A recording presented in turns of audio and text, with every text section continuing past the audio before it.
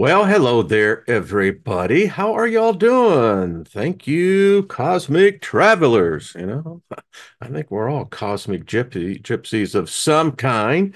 Uh, but thank you. Thank you for dropping in and uh, being a part of this, well, adventure, ride, trip. I don't know. You can add whatever descriptive word fits for you, but it's a interesting place to say the least. One of the things I know about this realm is that words count, words mean something, and particularly words that are energy filled, such as favor. And speaking favor over us all is really some positive charged energy. So soak it up. Have seconds if you want. And if you're really thirsty or hungry, go ahead and get thirds and fourths. Free for the taking. And while you're there, may there always be nothing missing, nothing broken. So there we go. Hello, Soul Tribe. What's happening, everybody? Steve, Mr. Floyd. I saw Brenda in there. Street Mom. Haven't seen you in a while, dear. Good to see you. Deborah Sloan, much love to you. Nina, how you doing? Steve, hello. Lost in Space. What's up, Lori? Doris, good to see you. Kel, good to see you. Lady Ellie, Good to see you as well, my dear. Joyce, how you doing? so cold here. And it was 82 degrees just three days ago. It's hot, humid. Now we got uh, sleet, so figure it out. Bonnie, what's up? RF, good to see you as well. Farzana, how are you, my dear? It has, ew, wow, it, it has been a long time since I have seen you. Um, so good to see you. How is everything? How are your studies? I hope they're going well. And uh, yeah, sending favor out to our good brother. And thank you for those who join in that. We just don't do this just to be saying, you know, like the former religion I was in, you know, it always got to me when you see these people saying, Oh, I love you, love you, brother, love you, sister. And they're just saying it because you're supposed to say it. But when we speak, it's energy charge. So, Nathan, we got you in the uh, crosshairs, brother, surrounding you with favor and uh, yeah, peace, peace that surmounts all understanding. That's the kind of peace I'm talking about. So, uh, John, good to see you. Hey, that was a funny vid- video. If you've not seen the video, uh, when Saturday Night Live was actually funny, uh, Phil Hartman, Lola Lovitz, um, Jon Lovitz, that's what it was, because he actually starred in that movie, Mom and Dad Save the World. Crazy movie. Anyway, it's when Messiah, he's the devil, comes into court to collect on a contract that he had made with an 18 year old hairstylist. It's funny. Go and check it out. Trina, how you doing, my dear? Good to see you. Source frequency. I think I saw Goddess Sabrina. Would love to have you on, Goddess, sometime. If you would like to come on. Love to have you. So, here is the question I put out there in the title. You know, I can tell you exactly how imperfection came into existence. Do I know the answer? First, let's go and do some physics review. Matter, antimatter, gravity, anti gravity. Two separate forces with laws that govern each force. And the commonality of the law is is that two forces cannot occupy the same space. That's why, you know, you have what happens is the annihilation theory. Theory or principle that you cannot put two opposing forces into the same space. They'll annihilate each other. So, getting back to, well, where did imperfection come? If perfection existed, how could imperfection come into existence? Well, the answer is very simple perfection never exists, perfection does not exist. It is impossible for perfection to exist in this realm. In fact, if you think about perfection in its complete etymology of the word, it implies that there's nothing else. Once perfection is reached, what else is there? And my biblical training was my philosophy. You know, that theology just gets into you. Was that, well, there was this bad cat, you know, named Satan. Lucifer, they, they don't even know. They get the two confused. Anyway, one or the other, somehow another, was perfect in its creation and they really give this lame excuse that, well, it looked upon itself, got a hard on, and said, well, I can do better than this God. Now, if you follow that narrative, well, that narrative is comes from many other more ancient cultures, but let's just keep with the modern uh, script that so perfection somehow another bred into existence imperfection. It's impossible. But here's most likely the other alternative to that. What Lucifer saw was imperfection to begin with. And as any good entrepreneur would do, says, well, I can come up with a better mousetrap. So the answer is perfection doesn't exist. It's an egregore, it's a thought worm in our perception, limited perception of reality and the so called ethereal realm. There is no such thing as perfection. I dare say that if you were ever to achieve perfection, you'd no longer exist. What would be the perfect? There would be no purpose, none. You've achieved perfection. What else is there? So there you go on that. Um, Joyce says a perception. Exactly. There you go.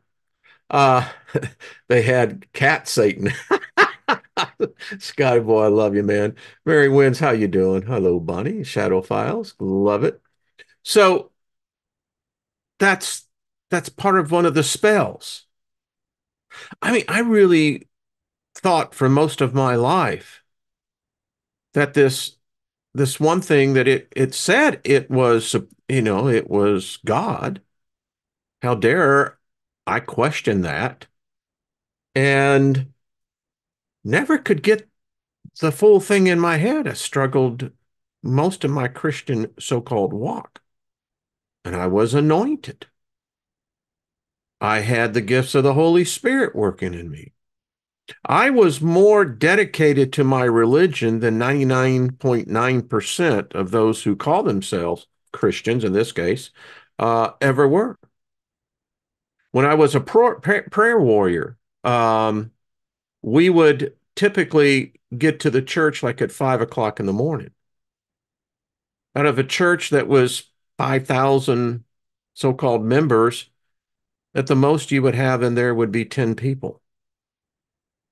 But we did some powerful battle, which brought me to one of those epiphanies. When I look at the occult and we study these grimoires that are written, some are old, but by vast majority of them, if there are originals, they're in collectors' hands. They're in very private groups that don't share knowledge. They don't. What knowledge we can gar- garner uh, on the outside um, may aid us. These so called spiritual beings, they have knowledge, they'll commune with you. They desire for that. And when I was a prayer warrior, I was fighting in the Holy Spirit, mostly speaking in tongues, but there was battle going on. And how odd is it now that I look back on those very entities that I was in battle with, now I'm aligned with?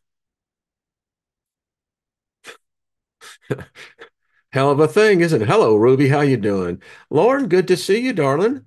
How are you? Um, just just stating the truth. And I guess that is one of the reasons why I'm not afraid of them. I did battle against them. I went into the ring 16 rounds. Sometimes I got my ass kicked, but most of the time I kicked their ass. And when I think about these gods and goddesses that have been banished from our lexicon, it's only because of the internet that this knowledge is even out there. I dare say that if the internet had not been invented, it the occult would have been exactly what it was always, very much secretive, very secluded in its orientation of those who had it. Um, and when I realize and I look back, you know, that's what makes people like us, and I'm not alone in this, not at all. That's what makes us such a threat, such a danger. Particularly those who come out of what I would say more of the Pentecostal um, side of the equation. The Pentecostal really you have to. I, I still admire the denomination, at least the the egregore of thought, and that is Pentecostal folks really believe and do this existence in this other realm. It's it's quite amazing when I look back. I didn't know my opponent's name so often. I didn't need to know because I had legions of angels that I could let loose on them. And then you can stand in proxy. Uh, it's actually in the Battle of Jericho, uh, standing in the gap, standing in the hedge. You can do that. You can literally uh, be the proxy of the person of focus. And if it's one praying in the spirit, uh, really powerful things happen. But if you get a group speaking in the spirit, focusing on one individual for one purpose, um, I look back now, that's a that's pagan. But the principle works, regardless of what environment it is used in.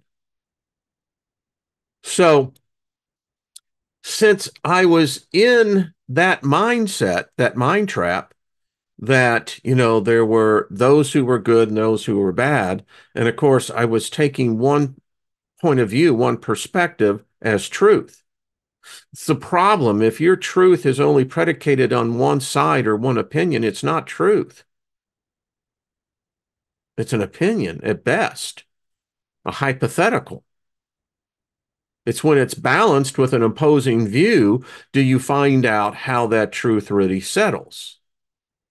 And so that gets us into where we are today. So perfection doesn't exist. It may be a lofty goal, nothing wrong with that, but I seriously doubt if um, if you ever achieved it, you would really want to. It's odd because, well, practice makes perfect. I don't know. I guess if you are in the uh, reincarnation camp, that would be a great theme, you know, practice makes perfect. Because guess what? You're never going to be perfect. You are who you are, whether that's imperfectness in its perfect manifestation. Well, you figure it out. But it's true.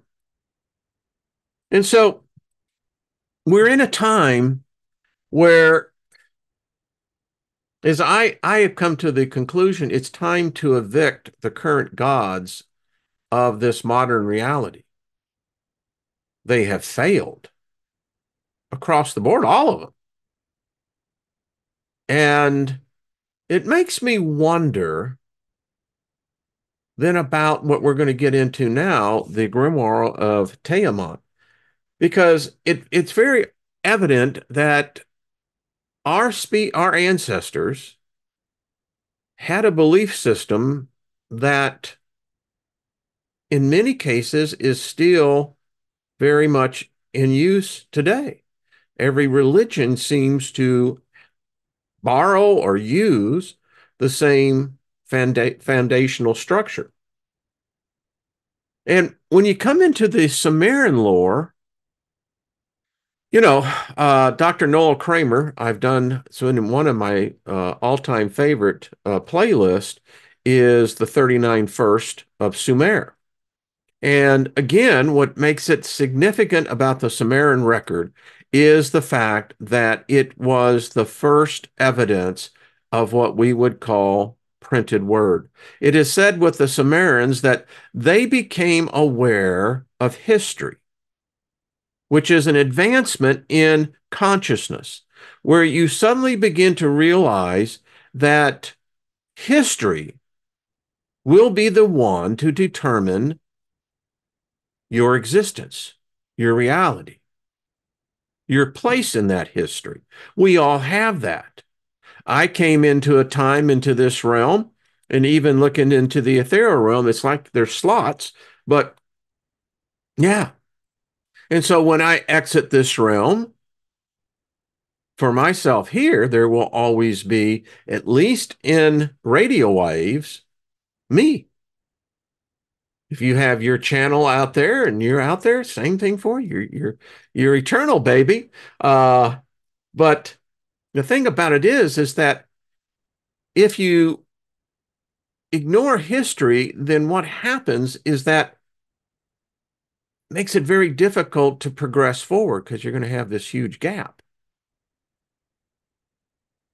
So when I say it's time to evict the current gods that are out here, I mean, I look at the God that I worshiped.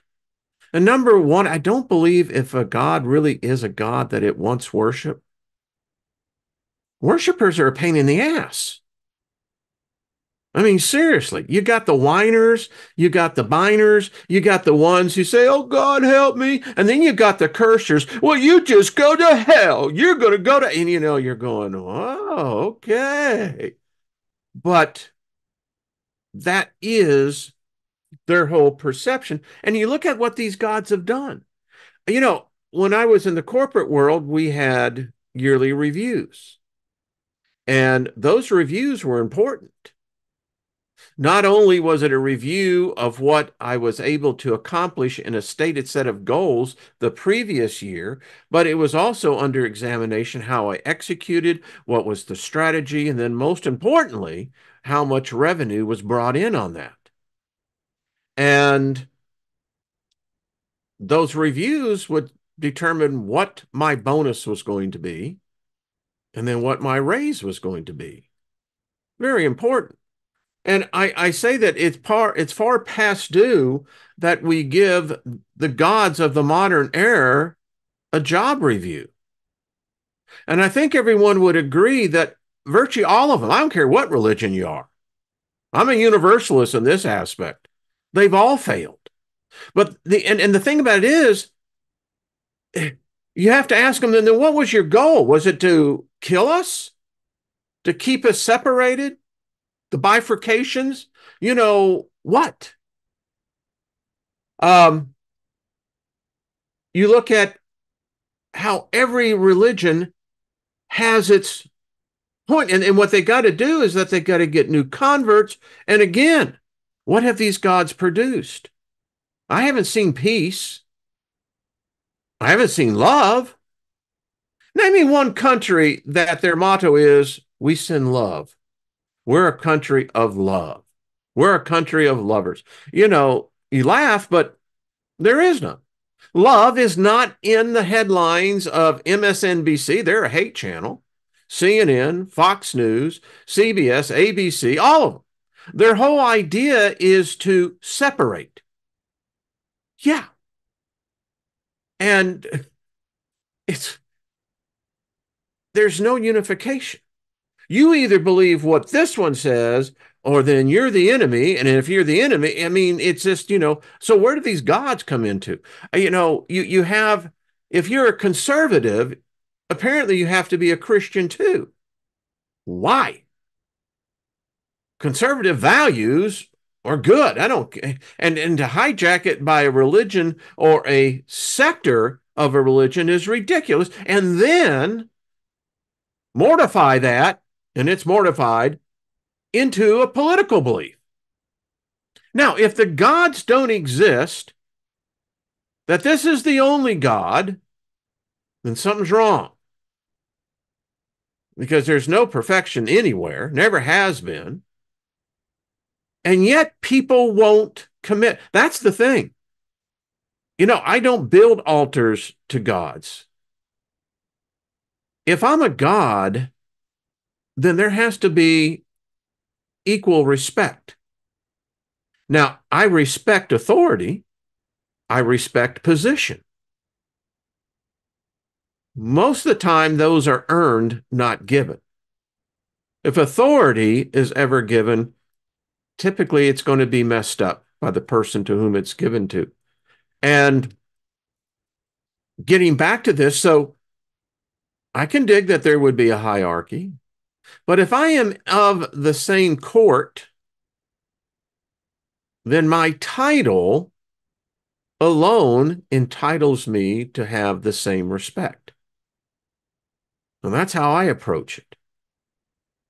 Now, I don't know what our ancestors believed in. You know, there is so much today about the Anunnakis, and, you know, but the, what I fail is that I never see the full connection because it wasn't just the Sumerians, but the Sumerians are the ones who started it. And if you study the tablets, and you can learn to read cuneiform, the Sumerian cuneiform, it's not that difficult, really.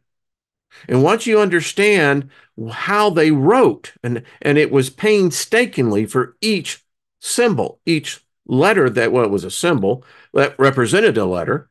Um, yeah, because they were the first true clay stones written in clay.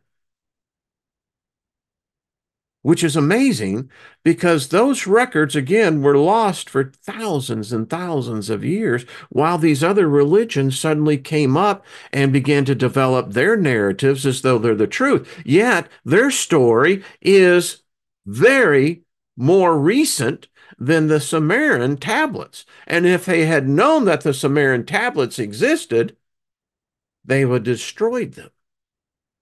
And we would have never had the understanding of the key that unlocked the very real probability of a set of beings that either were related to or were subjugated to. A gray area on those two. So let's get right into it. I'm just saying, it's time that these gods have a review and they've failed. They have failed across the board. It's time, maybe, to bring back the ones that were banished. And part of that story, literally, uh, as we get into this, and this is going to be a couple of day long series, different shows. The first thing we have to really get in, this is short. This is the Enuma Elish. This is the Akkadian seal impressions, the world of the gods. Now, I, I I'm not a Zecharia Sitchin fan. Um, unfortunately, he made a blunder, and he really fucked things up. Um, his his understanding was that of a child to that that you would find a person who would hold a PhD degree, a doctorate. And that's what caused me. I mean, I have his book, I have his whole anthology of books. And there for a while, I was thinking, holy shit, man. I mean, look what this guy is saying, you know? And come to find out when you have the the world uh, dr noah kramer university of chicago he is he was the first Sumeriologist to ever receive a doctorate degree in Sumerian history, culture. Now, these gods that we adapt in our minds that they must be real, they must exist somehow. Well, it's interesting because the Sumerians were a very intelligent society, a culture, which leads me to believe that if they had, in fact, spaceports, which there's collaboration that there was something like that, then who were these gods? Were they cosmic travelers? They existed. And if they have been banished, why? And could we bring them back? Because the evidence shows that when they were here, there seemed to be more stability, but what we're going to find out, it their culture was not all that stable. There was great competition going on. And we certainly mimic those characteristics. So this is the gods of the, again, the Enuma Elish. We talked about this a little bit yesterday. And was that a great show with Trina and Jennifer? Wow. So you have the Apsu, which is fresh water, which is Tiamat, which is salt water. This equals the Lahmu and the Lahamu, which is the Anshar and the Kishar, which then becomes Anu, the sky, Damkina, uh, which is Ea, and then Marduk. Marduk is the central character here. This guy, and I have got books that I've read about him, if I was right now looking at a roulette table, I would probably put my money to double it real quickly that the um, the number is going to be red, Marduk, that he still exists, or yeah, I don't think they went anywhere. All right, so the Enuma Elish, which are the first two words of the epic and mean simply when on high is the creation myth of ancient Mesopotamia. Now, you know why I didn't ever study this more when when I was studying and you know into the ministry and what have you. But then again, I don't know if my mind would have been able to actually perceive what was really being said. Anyway, this is the Babylonian version of a much older Sumerian myth and originally, the chief figure of the myth was Enlil, the Sumerian storm god. When Babylon conquered the rest of Mesopotamia and established the old Babylonian Empire around 1800 BCE, it became necessary to explain how the local god of Babylon, Marduk, had now become supreme among the gods. Something's happening. Therefore, the older Sumerian myth of creation was retold, and Marduk was substituted for Enlil. Wow. Hmm. Isn't that special? All right. So this is the actual from the uh, cuneiform. When on high, the heaven had not been named. Firm ground below, had not been called by name. Not, but primordial, Absu, their begetter, and Mummu.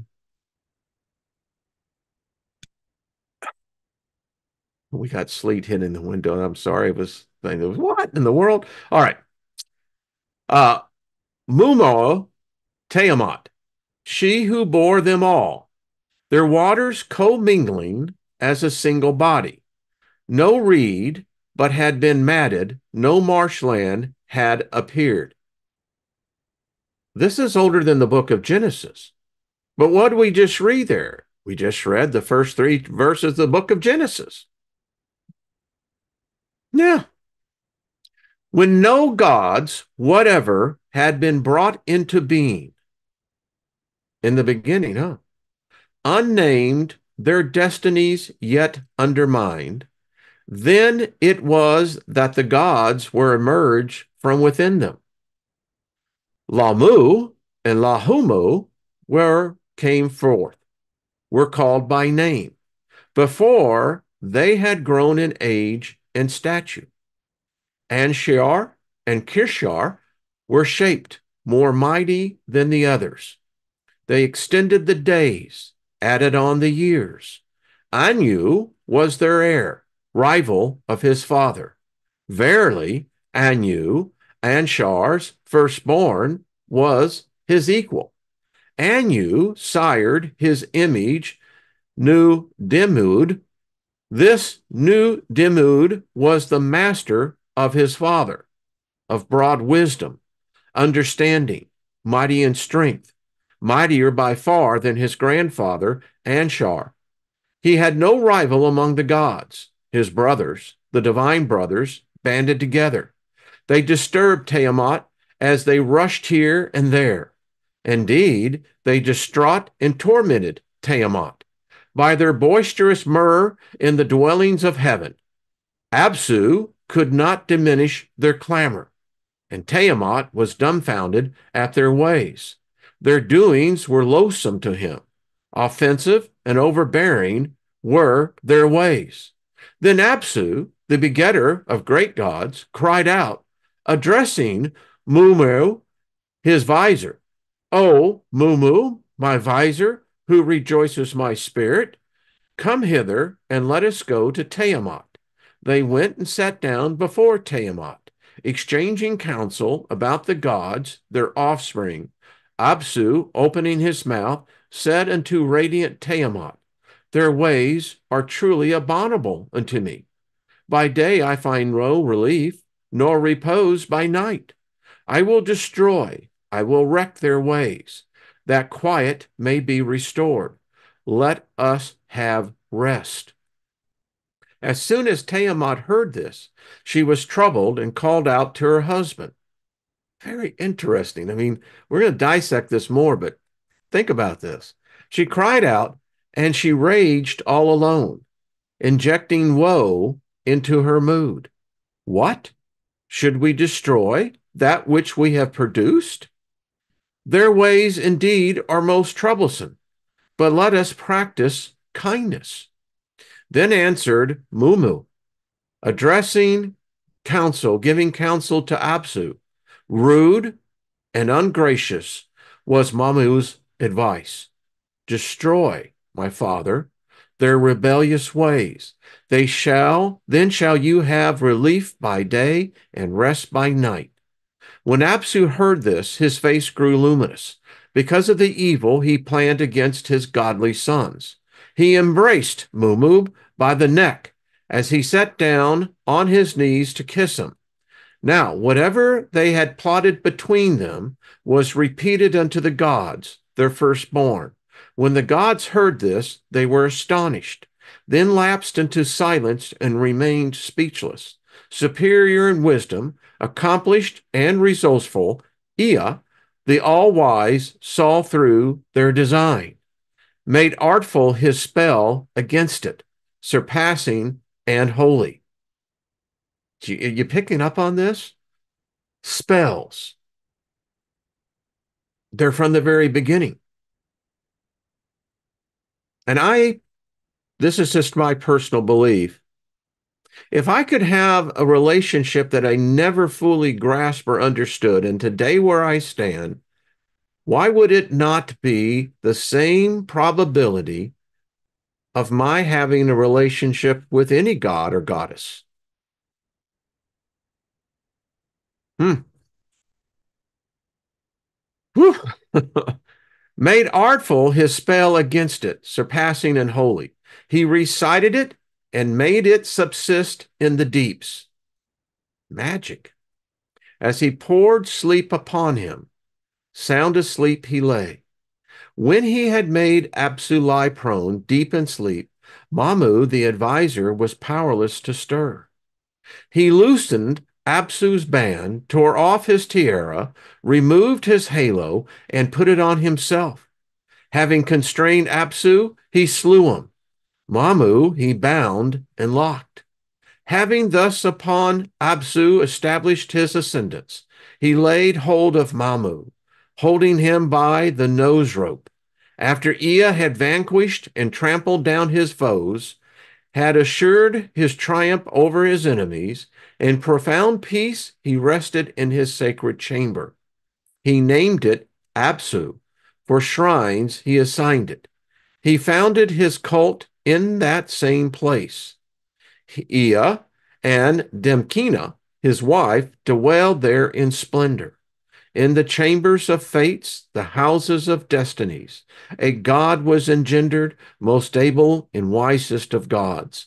In the heart of holy Absu was Marduk created. He who begot him was Ea, his father. Now, Tiamat renewed the conflict and created an army of monsters. This time, even the great Ea could not withstand the attack, and the gods decided to ask the young Marduk to defend them against Tiamat. Lord Anshar, the father of the gods, rose up in grandeur, and having pondered in his heart, he said to the Anunnaki, He whose strength is potent shall be our avenger. He who is sharp in battle, Marduk the hero. Ea called Marduk into his secluded presence. Giving counsel, he told him what was in his heart. Marduk came forth, the wisest of gods, your son. His heart prompted him to face Tiamat. He opened his mouth, saying to me, If indeed, as your avenger, I am to vanquish Tiamat and save your lives, convene the assembly and proclaim supreme my destiny. When jointly in the Ub Shukina, he sat down rejoicing. Let my word, instead of yours, determine the fates. What I may bring into being shall be unchangeable. Neither dismissed nor replaced shall be the command of my lips. Now hasten hither and promptly fix for him your decrees, that he may go forth to face your mighty foe. They erected for him an ample throne. Facing his fathers, he sat down, presiding. You are the most honored of the great gods. Your decree is unrivaled. Your command is Anu. You, Marduk, are the most honored of the great gods. Your decree is unrivaled. Your word is Anu. From this day, unchangeable shall be your pronouncement. To rise or bring low, these shall be in your hand. Your utterance shall be true, your command shall be unimpeachable. No one among the gods shall tra- transgress your bonds.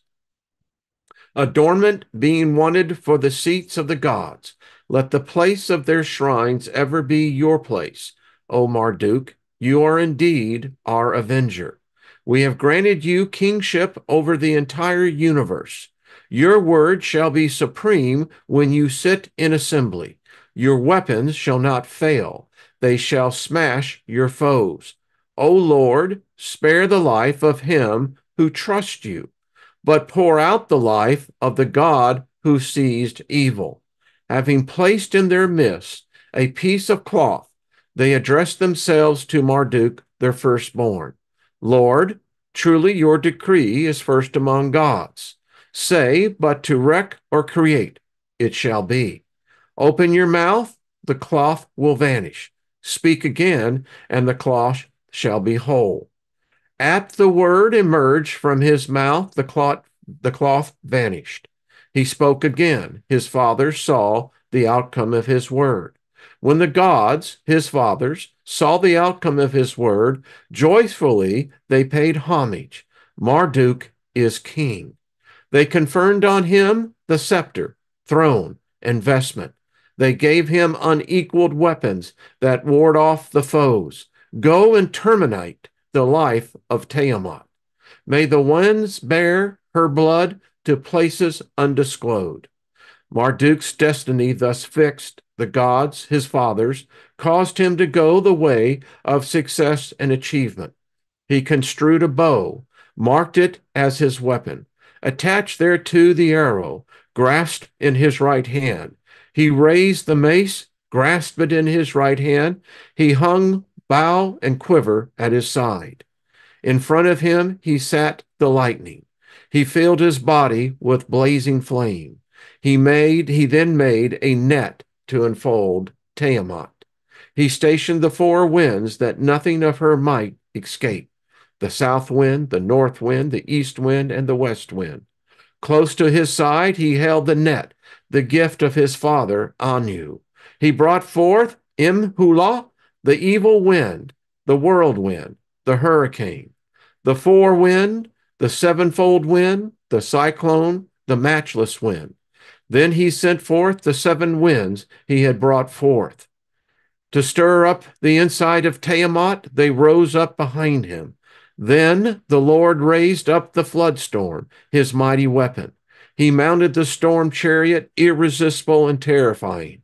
He harnessed and yoked it to a team of four the killer, the relentless, the trampler, the swift. Sharp were their poison bearing teeth. They were versed in ravage, skilled in destruction. On his right, he posted the smiter, fearsome in battle. On the left, the combat, which repels all the zealous. His cloak was an armor of terror. His head was turbined with the fearsome halo. The Lord went forth and followed his course. He set his face towards the raging Tiamat. He held a spell between his lips. A plant to put out poison was grasped in his hand. Then they miled about him, and the gods milled about him. The gods, his fathers, milled about him. The gods milled about him. The Lord approached the scan, the inside of Tiamat, and of Kingu, her consort, the scheme to perceive. As Marduk looks on Kingu's course becomes upset. His will is distracted and his maneuvers are confused. And when the gods, his helpers, who marched at his side, saw the valiant hero, blurred became their vision. Without turning her neck, Tiamat emitted a cry, molding savage defiance in her lips. Too important are you for the Lord of the gods to rise up against you. Is it in their place that they have gathered, or in your place? Thereupon the Lord raised his mighty weapon, the flood storm, and the enraged Tiamat he spoke the following words Why have you risen? Why have you arrogantly exalted? You have charged your own heart to stir up conflict. Sons reject their own fathers, while you, who have borne them, has for, uh, forsworn love. You have appointed Kingu as your consort, while you, who have borne them, excuse me, conferring upon him the rank of Anu, not rightfully his. Against Anshar, king of the gods, you seek evil. Against the gods, my father, you have confirmed your wickedness. Though you have drawn up your forces, ready your weapons. Stand alone, that I and you may meet in single combat. When Tiamat heard this, she was like one possessed. She took leave of her senses. In fury, Tiamat cried out aloud. To the roots of her legs shook both together. She recited a charm, keeps casting her spell, while the gods of battle sharpen their weapons. Tiamat and Marduk rest wisest of gods, then joined the battle. They strove in single combat, locked in conflict. The Lord spread out his net to enfold her. He let loose in her face the evil wind, which followed behind. When Tiamat opened her mouth to consume him, he drove in the evil wind, and she could not douse her lips. As the fierce winds encumbered her belly, her body was distended and her mouth was open wide. He released an arrow, it tore her belly. It cut through her insides, splitting her heart. Having subdued her, he blotted out her life. He threw down her carcass and stood upon it after he had slain Tiamat, the leader. Woo! Her band was shattered, her troop broken up. and her helpers, the God who marched at her sides, trembled with terror and turned their backs in order to save and preserve their lives. The lesson here encircled tightly, they could not escape. He made them captives and he smashed their weapons. They found themselves ensnared in a net. Torn into cells, they were filled with wailing. Bearing his wrath, they were held imprisoned. And the eleven creatures which she had charged with awe, the band of demons that marched before her, he cast into fetters and their hands. For all their resistance, he trampled them underfoot. And Kingu, who had been made chief among them, he bound and accounted him to be the Uge. Whew! What a freaking battle. And Tiamat is not, wasn't it the planet that was destroyed? He took from him the table of fate, not rightfully his, sealed them with a seal, and fastened them on his own breast. When he had vanquished and subdued his adversaries, had the vainglorious foe, had wholly established Anshar's triumph over the foe, Nudimmud's desire had achieved valiant Marduk, strengthened his hold on the vanquished gods, and turned back to Tiamat, who he bound. The Lord trampled on the legs of Tiamat. When his unspiring mace he crushed her skull, when the arteries of her blood he had severed, the north wind bore it to places undisclosed. On seeing this, his fathers were joyful and jubilant. They brought gifts and homage to him. Then the Lord paused to view her dead body, that he might divide the monster into artful works. He split her like a shellfish into two parts. Half of her he set up as the ceiling of the sky he pulled down the bar and posted guards. He ordered them not to allow her waters to escape. Wow. he crossed the heavens and surveyed the regions. He squared Absu's quarter and abode of the Nimdumud. As the Lord measured the dimensions of Absu, the great abode, its likeness he fixed as the Esharra the great abode, the Esharra, which he made the firmament. Anu, Enlil, and Ea he made occupy their places. He constructed stations for the gods, aligning their astral likenesses as constellations. He determined the year by assigning the zones. He set up three constellations for each of the 12 months. After defining the days of the year by names of astrological figures, he founded the station of Nibiru to determine their divine bands, that none might transgress or fall short. Alongside, he set up the stations of Enlil and Ea. Having opened up the gates on both sides, he strengthened the locks to the left and to the right.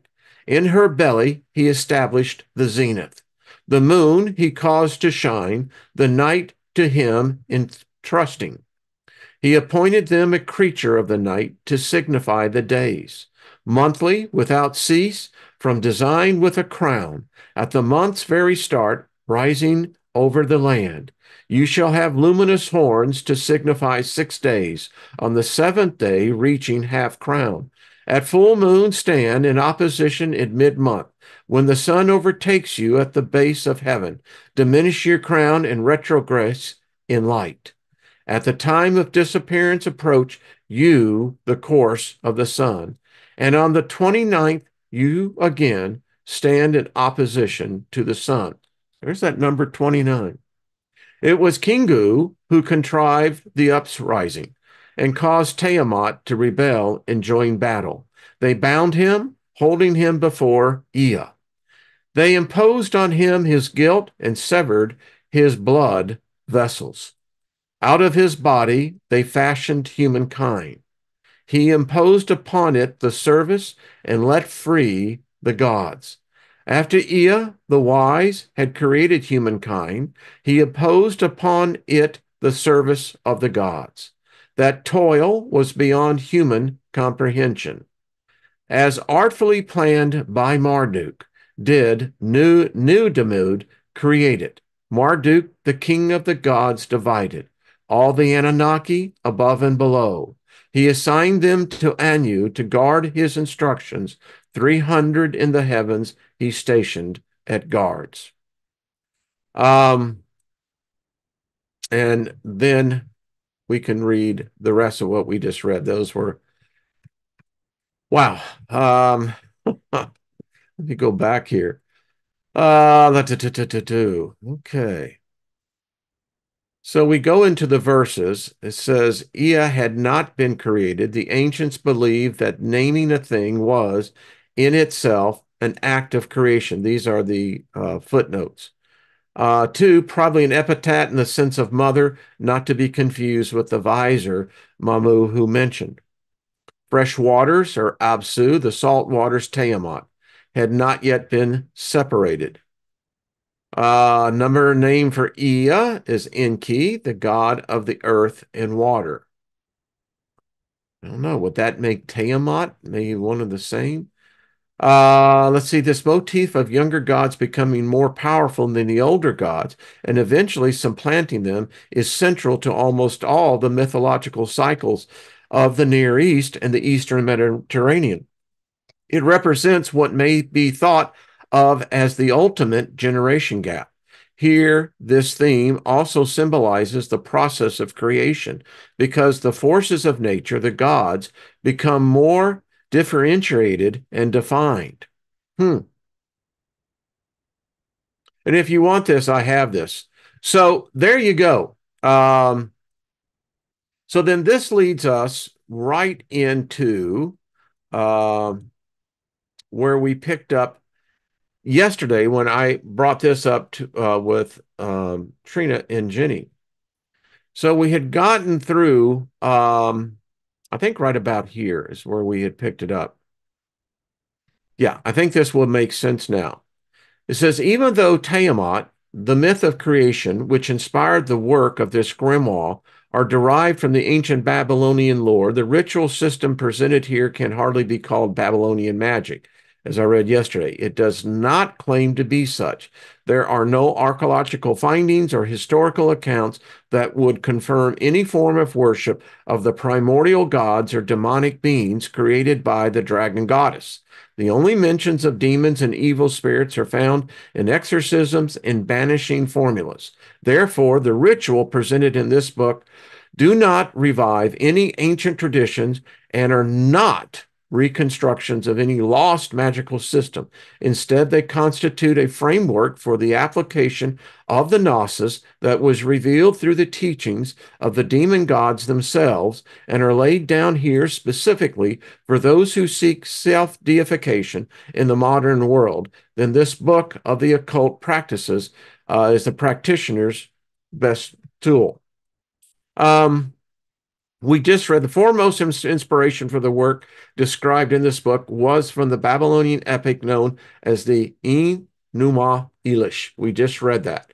Uh, the research literature on the myth of creation is almost solely focused on Marduk and his role in Babylonian magic and religion, while Tiamat and her children are hardly mentioned at all. The only available information is the analysis of the 11 demon gods from the linguistic perspective and their occasional metaphorical interpretations, such as their connection to astrology, which is the domain which made the Babylonians famous across the ancient world. The original material meaning, magical meaning, however, seems to be lost. In this book, there are no rituals or workings devoted to Marduk. I leave this field to his followers and devotees. This is the book of Tiamat and the primal demon goddess who were born in her black waters of chaos. Hence, we will look at each demon god from their historical and linguistic meaning as well, but the main purpose of this grimoire is to present the children of Tiamat from their esoteric perspective and to explore their magical powers as they manifest into the modern practitioner. The linguistic and astrological interpretation quoted in this grimoire is based on such works as Stephen Langdon's Babylon Epic of Creation, F.A.M. Wiggermann's, and the Mesopotamian Protective Spirits, and Leonard King's Enuma Elish, The Seven Tablets of Creation. For other sources, it's recommended to view the bibliography list by the end of this book. The occult interpretation and practical part of this grimoire is based on materials gathering during my personal work with Tiamat and her demon gods in the years 2007 through 2012. The work started as a magical project conducted by Lodge Magan, the occult ritual group that was founded in the beginning of the last decade in order to earth and to channel the draconian current through practical application of the left hand path.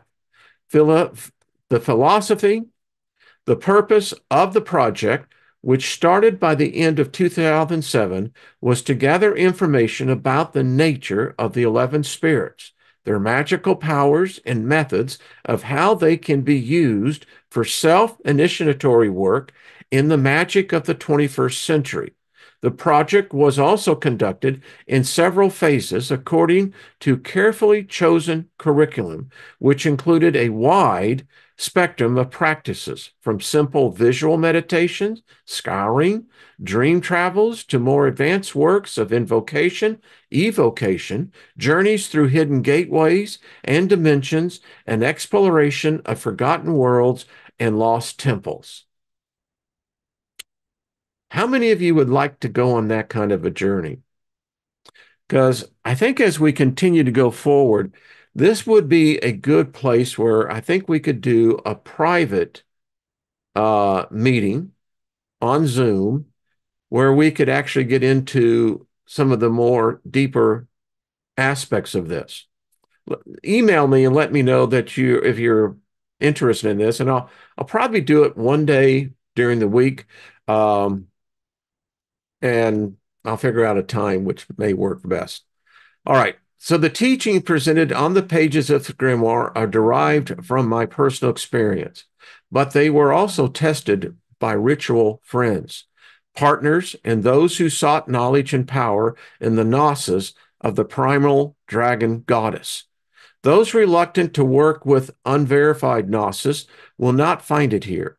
All rituals described in this book were performed and their results were verified to prove their efficacy, both through self initiatorial work and through manifestation of their results on the physical plane. Therefore, they provide a solid ritual system which lays foundation for the further work with this forgotten gnosis. It is my personal hope and wish that this book will find its way into the hands of those who will not hasten to embark on the journey to the womb of darkness, reach for the primordial wisdom and power, and carrying the dragon fire as a torch to illuminate the path for others. What a perfect place to wait till tomorrow. And we shall. Don't be afraid, folks. So we'll get in tomorrow the primordial draconian gods. We're going to get to know these individuals. I do believe they exist. I believe they are, in fact, as real as you and I. And we'll get into more tomorrow on Tiamat, get a chance to know her a little bit better and have a maybe clear understanding of who she is, what her purpose still is, and why such shows as this, bringing and speaking of this, becomes a part of that resurgence of knowledge. So I hope you've enjoyed it. Uh, I'm just reading. Fantastic. Again, when we get into the ritual parts, I'm not sure I'll actually do them on air, you know, but I think it would be very interesting. And I only want those who are really dedicated, you know, not, you know, experimenting, but those who, you know, are coming in with an understanding of, you know, that other world of which we're all a part of. they look at us and they go, that's the other world. uh, anyway, uh, thank you, Nina. Cool, cool, cool. Um, I'll go back and read uh, the chat room. I always do. I always find your uh, comments and the conversations that y'all carry on with are just marvelous, baby. They're just marvelous. So, really good stuff, isn't it? I mean, listen, what can it hurt? What we see going on today is madness. And I don't think it's going to be letting up any time at all. And again, this is just an impression I get. There's a, it's almost as if there's a calling. And I think this is like a partnership. One can't operate without the other. And yeah, I mean, most of the people I know here, and many of you have followed me for years, um, you know, I don't see the avarice, the greed, the the ego at play. It's just the opposite. That's the type of grounding one needs. And again, as I have said to you before, I've done battle with these beings. You know what? They say know your enemy. You know why they say that? because your enemy just may become your best friend. uh, so, anyway, everyone, I hope that you found this to be at least knowledgeable and, you know, expanding. Let's just put it that way. Um, Steve, way to go, brother. How are you doing, by the way? Uh, by the way, Nina has her new channel. It's in there. Uh, it's called the, is it the Hump Day message? Is that right? Yeah. So make sure to go over there, subscribe and on her Rumble channel. And by the way, go there and subscribe on my Rumble channel. What's up with y'all? I looked over there, you know, I, I and somehow I got turned off because all these videos go transfer over there. And somehow they got turned off, but I turned it back on. So do me a favor, go over there and subscribe. You know? hey, John Price, how you doing? All right, everybody. Doctor, uh, thank you, sir. Thank you. Thank you. Thank you, Scotty. Appreciate that. Um, yeah. Let's do some magic.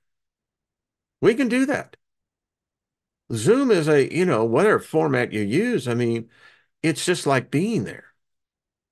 It really is. Now, granted, it's nothing like actually having a circle where you can actually uh, build up the energy. But uh, yeah. And I'll share something with you. In the art of magic, and particularly where your energy is concerned, there is a exercise you can do. And the exercise is to get your hands, get them like this, and then bring them in and close your eyes. And the idea is do not touch your hand, but begin to feel that energy. And if you practice this, you'll actually feel it. You'll actually feel that. And that's the energy that really causes the magic to work. All right, boy, I've gone over time here. Thank you all. Have a great day. Pin Greedy, how you doing? And Farzana, Farzana, so good to see you again, dear. Uh, send me an email. Let me know how that's going. Thank you, Joyce. Rick, right back at you. So, folks, much love. We'll pick this up tomorrow. I think this is good stuff. That's all. Of course, that's my opinion.